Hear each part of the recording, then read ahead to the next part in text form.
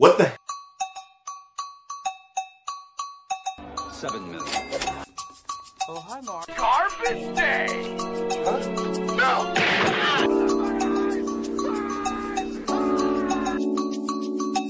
Alright, where, where, where do I begin?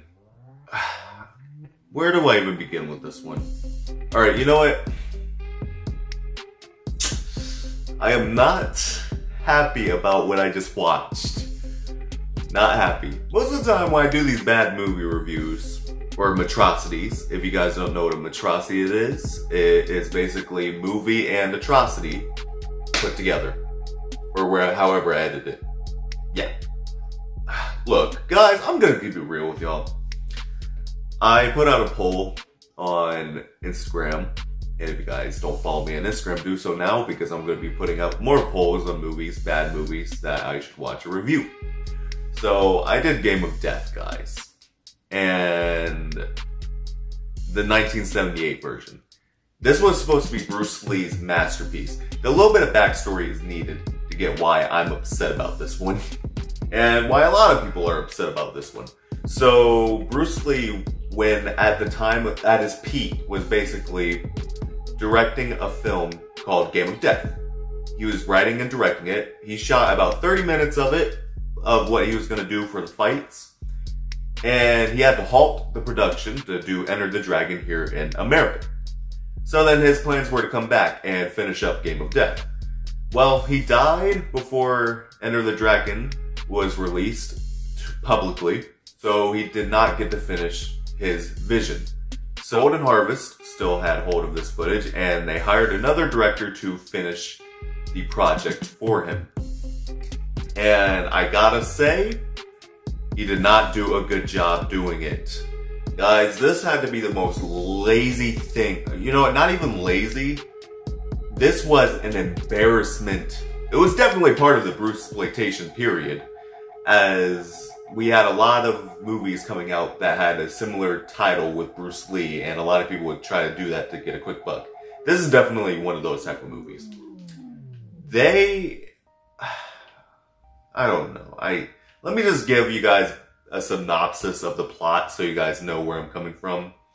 So basically, I'm using quotations for this. Bruce Lee's character, Billy Lo, is basically being hunted down by the syndicate. They try to get offer him into the corporation, and he refuses. So basically, they try to assassinate him. It doesn't work, and he basically tries to get vengeance upon them. That's basically all it is. And I gotta say, this was horrible to watch. Guys, look. Now, there are bad movies that I've done on the channel before.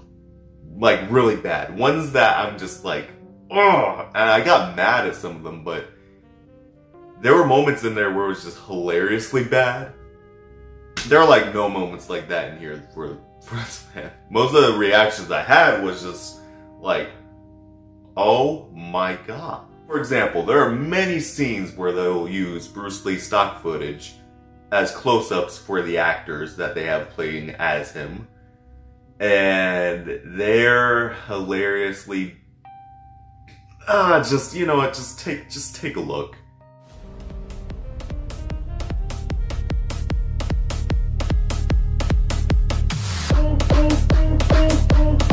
Yeah, we we get stuff like that. And it's just it's frustrating because you know it's from other movies and you know they're cropping stuff over them and doing all this weird stuff. And they you look, they're not even trying to hide the actor's face. Like surely this is the same person. Surely. That and not even the action scenes were really all that impressive. I mean, the stuff that they try to shoot, which is not that great. And I was reading some information and did a little bit of research before watching this. And the director didn't like what Bruce shot before.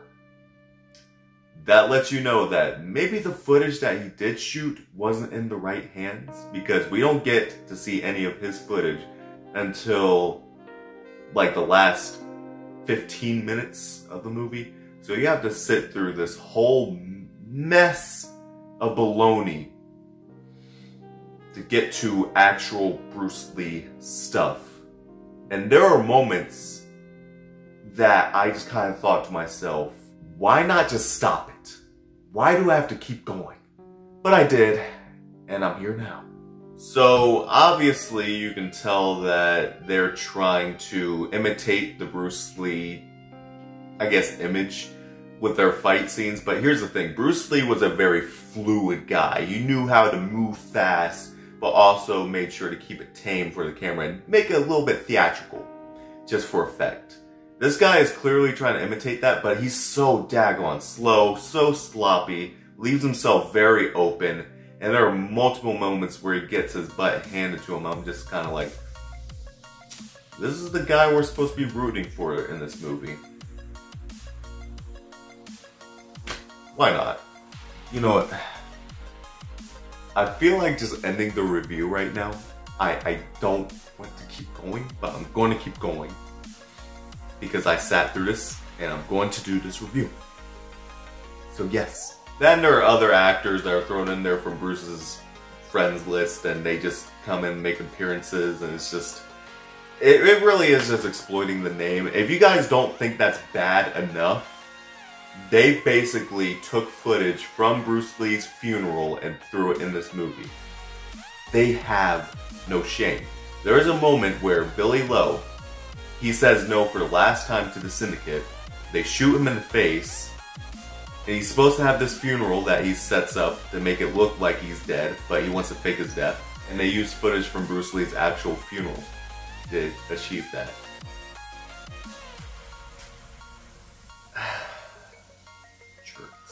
Anyways, this is just, I don't know what this is. Can you, like, guys, like, help me out here. Explain it to me. If you guys like it, tell me why. Because I'll tell you right now, there's something wrong with you if you do. Because this is no good. This is terrible. I don't like it. I'm trying to formulate words. Others, and just bad and but that's all this is. Like, there's no. If I'm being honest, there's honestly no story. The synopsis I told you is that that's it. That's the story, and then they do a couple of scenes in between, and then they just throw in an action scene. Even the dialogue is terrible. It's just like the villains are. If you're setting up villains for your movie, you gotta make them somewhat intimidating. You gotta do something with them. This movie does nothing. We get random dialogue with old man going and stuff like that throughout the entire movie. And it's just like, I... I wonder where their mindset was when they came to writing the script and just doing this in general. Mercifully, the movie ends on a somewhat okay note.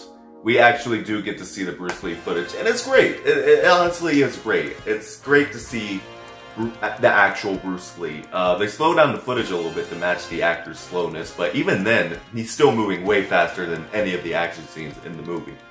And it's just great to see Bruce Lee and see those fights. And the music goes great with those fights. Um, if there's another positive about the movie, uh, it's definitely the music done by John Barry. He does a phenomenal job. Probably, you know what, and this is going to be a compliment I don't want to give to this movie, but I will this movie has the best music in any Bruce Lee movie. I can't believe I just said that, but it does. And some of the action scenes that don't involve the person playing as Bruce Lee are actually half bad. Like there's a fight between the character Carl Miller and this other guy, I can't remember his name, but it's actually a somewhat okay action scene. It's very well choreographed and it's it's a fun watch. And the motorcycle scene isn't that bad, except you can clearly tell that they're trying to set it up for the Billy Lo character to get the motorcycle suit. That way, when they get to the actual Bruce Lee footage, he's wearing it.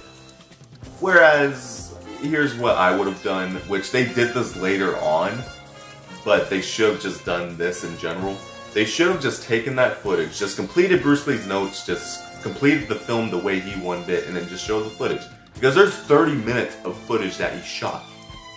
They could do a half an hour setting up for that footage, but doing it in the story that he wrote. But they didn't do that.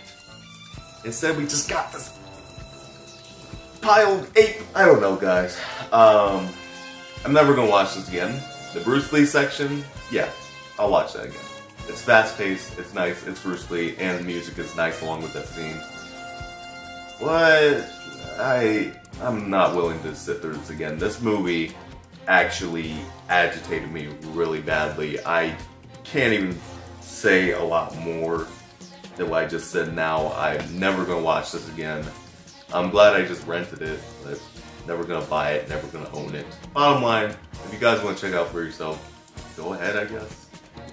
But um, we're done.